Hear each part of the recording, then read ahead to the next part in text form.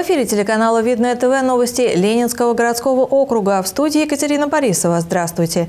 И в начале выпуска коротко об основных событиях. 13 школ Ленинского городского округа приняли 40 детей из Донецкой и Луганской народных республик. И все обязательно будет хорошо, вы просто в это верьте. Сердечно-сосудистые заболевания после перенесенного коронавируса. На что обратить внимание? Сейчас существует много э, хороших современных препаратов, которые продлевают жизнь пациента, затормаживают э, развитие сердечной недостаточности. У кинотеатра «Искра» вновь открылась ярмарка. Цветную капусту, брокколи, кабачки. Хорошо, вот это все хорошо идет. Огурчики. Представители администрации муниципалитета и члены партии «Единая Россия» встретились с детьми из Донецкой и Луганской народных республик. В настоящий момент 13 школ Ленинского округа приняли 40 ребят, и это число будет увеличиваться. Встречи с детьми-беженцами из Донецкой и Луганской народных республик, которые теперь учатся в Ленинском округе, прошли в нескольких образовательных учреждениях муниципалитета. Сначала представители администрации и члены партии «Единая Россия» посетили Лопатинскую школу, где пообщались с новыми учениками. И у вас там, на вашей родине, все будет хорошо. Будет мир, и вы сможете вернуться, и все друзья соберутся, и одноклассники – и близкие взрослые, родственники, все будут вместе, все обязательно будет хорошо, вы просто в это верьте. Даже для взрослых людей эвакуация из зоны военных действий – это большой стресс, а для детей тем более. Задача, которую поставило перед собой руководство округа – обеспечить для ребят комфортные условия пребывания и всяческую поддержку. Семьи беженцев постепенно осваиваются на новом месте. У меня мама, ну, гражданка России тоже, ну, у нее нет российского паспорта при себе, но у нее тут живет мама. Мы со всей семьей приехали к маминой маме. У нас все хорошо. И я хочу передать привет э, бабушке, дедушке из моего родного города и моей любимой собаке Пули. Партия «Единая Россия» подготовила детям подарки в виде наборов школьных принадлежностей, которые обязательно пригодятся в учебе. Встречи также прошли в бутовских школах номер 1 и 2. Мальчики и девочки активно вливаются в новые коллективы и планируют заняться дополнительным спортивным и творческим образованием. А чтобы ребята более тесно познакомились друг с другом, по инициативе «Единой России» для них запланированы совместные мероприятия. Мы а, организуем вот в ближайшие дни экскурсию и покажем им все достопримечательности нашего города, чтобы они узнали город и полюбили его так, как любим его мы. По всем бытовым вопросам, возникшим у семей беженцев, они могут обращаться в администрацию округа. Дмитрий Книга, Сергей Ларин, Ольга Садовская, Видное ТВ. Медики Ленинского городского округа отмечают некоторую стабилизацию заболеваемости COVID-19. Но на прием к специалистам продолжают активно обращаться пациенты с осложнениями после перенесенной инфекции. Одним из них является обострение сердечно-сосудистых заболеваний. На какие симптомы обращать особое внимание и что делать, если они возникнут в репортаже Галины Житковой. С каждым годом продолжает расти число пациентов с проблемами сердечно-сосудистой системы. Кардиологи рекомендуют не ждать тяжелых последствий, а вовремя обнаружить проблему и начать лечение. Для этого в взрослой поликлинике уже около двух лет работает кабинет хронической сердечной недостаточности. Медицина в последнее время э, совершает большие прорывы в плане диагностики, лечения заболеваний. Э, продолжительность жизни увеличивается, население и, соответственно, пополняется количество больных сердечной недостаточностью. Сейчас существует много э, хороших современных препаратов, которые продлевают жизнь пациента, затормаживают э, развитие сердечной недостаточности, улучшают качество жизни. Снижение насосной функции сердца возникает на фоне ишемической болезни или перенесенного инфаркта миокарда. Также причиной может стать течение гипертонической болезни, сахарный диабет, пороки, нарушение ритма сердца, осложнения после COVID-19. Проводим отбор пациентов, э, кто нуждается в проведении ресинхронизирующей терапии, э, установки кардиовертера, дефибриллятора или проведении радиочастотной аблации, ну это при нарушениях ритма сердца, допустим. Ну и, конечно, в тяжелых случаях э, мы ставим пациента в очередь на трансплантацию сердца. Здесь мы работаем с, э, с институтом Шумакова. Галина Турба работает воспитателем в детском саду «Колобок». Отмечает, что после того, как переболела новой коронавирусной инфекцией, стала чувствовать себя неважно. А в ее профессии нет времени на хандру и уныние, поэтому пришла к доктору, чтобы скорректировать лечение. Повышается давление, отдышка. Но я считаю, что это отдышка, наверное, после э, перенесенного заболевания ковида. Вот. Раньше это усталость, нет той быстроты, которой бы хотелось. Со временем все это вернется в норму. Надо себя держать на контроле, надо почаще приходить к доктору, вот, потому что сейчас медицина с каждым годом совершенствуется, может быть, что-то новые какие-то препараты. Сейчас в кабинете хронической сердечной недостаточности на учете состоят порядка 780 человек. Но доктора готовы к тому, что скоро это число значительно увеличится. Ведь на прием к терапевтам постоянно записываются пациенты с тревожными для кардиологов симптомами – отдышка, сердцебиение, утомляемость. Галина Жуткова, Александр Логинов, Елена Кошелева. Видно ТВ. В рамках месячника «Весна приходит ко всем» в учебных заведениях муниципалитета организуется ряд мероприятий. Их цель – рассказать ребятам о том, что, несмотря на разницу национальности, языков и менталитета, россияне являются единым народом. Мы разные, мы вместе. Урок под таким названием прошел в Лопатинской средней школе.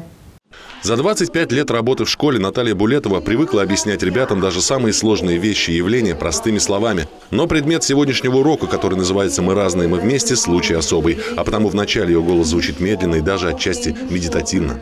Насколько разнообразен наш мир, наверное, вы никогда об этом не задумывались и не представляли. Мы все с вами разные. Мы взрослые, а вы дети. Русые, рыжие, светлые. Все мы должны понимать друг друга. Существует очень красивое слово – толерантность. Скажите мне, пожалуйста, как вы думаете, а что это? Надо признать, что немногие взрослые знают определение слова «толерантность», термина, обозначающего терпимость к иному мировоззрению, образу жизни, поведению и обычаям. А вот такие понятия, как любовь, дружба, сострадание и первоклашкам уже близки. Глядя мультфильм «Гадкий утенок», их сердце на стороне того, кого все считают уродцем.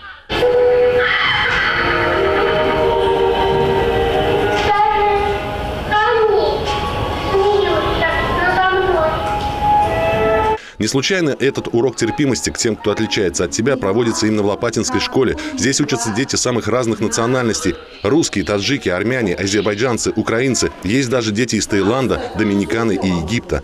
Не является исключением и многонациональный первый Г-класс. Вместе мы с тобой в ответе за чудесное жилье, потому что на планете все твое и все мое. И пушистые снежинки, и река, и облака, тропинки, и травинки, и вода из родника. Мультфильмы и рисунки, национальные костюмы, стихи и песни. Цель использования столь богатого набора изобразительных средств – донести до детей главную мысль – люди Земли – одна большая семья. Сейчас достаточно тяжелое время э, в нашей стране да, и в мире. И поэтому хочется обратить внимание на то, что мы э, должны быть более сплоченные, дружные, более э, воспринимать друг друга такими, какими мы есть. И я думаю, что сегодня нам это для детей первого класса это удалось. Судя по всему, этот урок ребята усвоили на отлично. Как по-твоему, как люди должны относиться друг к другу? По-доброму. Хорошее отношение должно быть. Должны любить друг друга и дружить с друг другом. Хорошо должны относиться. Как будто вся у нас в классе большая семья. Важность этого урока особенно становится понятна именно сейчас, в неспокойное время. И можно быть уверенным, эти ребята, получая подобные небольшие прививки доброты, пронесут любовь к ближним через всю жизнь. Максим Козлов, Александр Логинов, Елена Кошелева. Видное ТВ. Помимо своей основной работы, она читает русские народные сказки, рассказывает про мюзиклы, делает передачи для подростков и множество других проектов. Сегодня в центре нашего внимания режиссер массовых представлений Дворца культуры «Видное» и автор цикла передач «Няня Нюша» Анна Бейджи. Здравствуйте, мои дорогие друзья!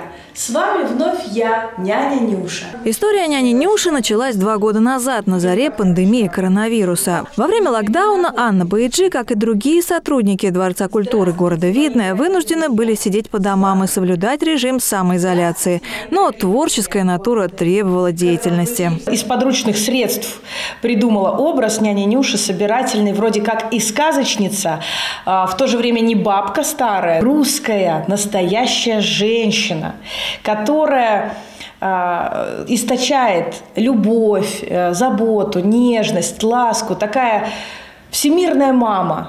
Анна путем проб и ошибок научилась ставить свет, записывать качественные видео и звук, освоила основу монтажа. Готовые выпуски выкладывала в интернет на странице Дворца культуры в соцсетях. За это время их вышло уже более 500. У меня есть цель популяризировать няню Нюшу э, для того, чтобы детям, пока они еще способны слушать и э, воспринимать детям, читать эти сказки. Сейчас у современных родителей нет на это времени. Локдаун закончился, да и маски недавно отменили. Но няня Нюша до сих пор продолжает рассказывать детям и взрослым сказки. В центре внимания не только русское народное творчество. Ко Дню народного единства каждый день в течение месяца Анна знакомила маленьких зрителей со сказками народов России. Каждый мой выпуск, он заканчивается какой-то э, каким-то добрым посылом, доброй мыслью. Э, я никогда не продумываю это заранее. Я всегда вот э, сажусь и прямо с листа читаю. Я не знаю, что там меня ждет в каждой книжке. И в конце, после прочитанного, я высказываю свои мысли. Но Анна Баиджи успевает заниматься и другими проектами. Недавно, к примеру, стартовал цикл передач про мюзиклы. Мы вместе с Алексеем Франдетти э, рассказываем о мюзиклах структурированно. А, от и до прямо. Вот такой ликбез для всех. И я э, при монтаже иллюстрирую то, о чем, например, Алексей э, рассказывает. Кстати, Анна не только рассказывает о мюзиклах, но и прекрасно их исполняет. Радость, счастье и успех нас манят к вышине.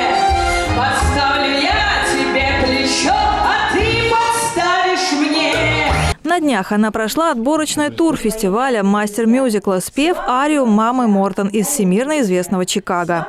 26 марта Анна отправится в Красногорск защищать честь Ленинского городского округа. Пожелаем ей удачи. Екатерина Борисова, Кирилл Иванов, Екатерина Давлятова. Видно этого. И снова ярмарка. В начале этой недели в Видном у кинотеатра «Искра» появилось более сотни павильонов. Продукты питания, одежда, товары для дома. Настроению покупателей благоворит по-настоящему весенняя погода. Среди посетителей оказалась и наша съемочная группа. О том, что можно купить, расскажет Юлия Погасьян. После зимы эта весенняя ярмарка отличается своим разнообразием. Кажется, здесь можно купить все, что душе угодно, на любой бюджет и вкус. В этот раз э, лучше товары более, да, чем было вот как-то зимой я приходила. Вообще не, не на что посмотреть. Сейчас много хороших товаров. Такое изобилие, цены приемлемые. Все нормально, все свежее видно. Спасибо. Нравится. Вам нравится. В этот раз львиная доля павильонов отведена одежде. Здесь женские и мужские вещи, нижнее белье, обувь, сумки, головные уборы. Широкий размерный ряд, доступные цены. Отдельное внимание покупателям стоит обратить на прилавки с товарами для детей. У нас вообще возрастная группа от 0 до 16. Ассортимент товара, производства есть в Беларуси много, наша Россия, пожалуйста, есть Турция, Польша, кстати, остатки его товара, но неплохого качества. Так что приходите, особенно Беларуси, у нас вообще качество изумительное, можно сказать. В основном в составе хлопок состоит, так что будьте любезны, мы вас всех гостей бросим к нам сюда на ярмарку. А еще большой ассортимент тапок и вот такие валенные чувашские чуни. Есть очень интересные модели, э, патриотические классические с флагом России. В продуктовом отделе, который расположен ближе к кинотеатру «Искра», много свежих овощей и фруктов. Во время поста эти товары у посетителей ярмарки пользуются наибольшей популярностью. Цветную капусту, брокколи, кабачки. Хорошо, вот это все хорошо идет. Огурчики. Мы цену держим, у нас, видите, цена дешевле всех. Мы стараемся. Вот я прямо раз и 250, и 220. Можно здесь купить и гранатовый сок, продукт, наполненный витаминами и полезный для укрепления иммунитета, особенно переболевшим новой коронавирусной инфекцией. Сейчас в такое время каждое утро один стакан утром, один стакан вечером надо попить. И без проблем ребенкам, детям тоже надо по маленький стаканчик хотя бы давать, чтобы кровь. Каждый день вот наши свои покупатели идет по 3-4 штуки гранаты и соки покупает. Спасибо вам большое. Спасибо всем. У прилавков с мясной продукцией тоже людей немало. Здесь в основном товары белорусских производителей. Многие покупатели на ярмарку ходят специально, чтобы приобрести масло, сыры, колбасы у одного знакомого продавца. Давно распробовали, в качестве уверены. В ассортименте у нас мясные изделия, колбаса, сало, ребра копченые, много чего. Тушеночки разные. Масло сливочное очень вкусное у нас. Очень нравится. Особенно масло мажется хорошо и вкусное, вообще вкусно. И брала сколько раз сыр колбасный, тоже очень нравится. А цены как? Нормально. На пенсию проживаем. Ярмарка продлится до воскресенья включительно. Работает она ежедневно с 9 утра и до 7 вечера. Юлия Погосян, Александр Логинов, Ольга Садовская. Видно этого. И это все новости на сегодня. С вами была Екатерина Борисова. До встречи.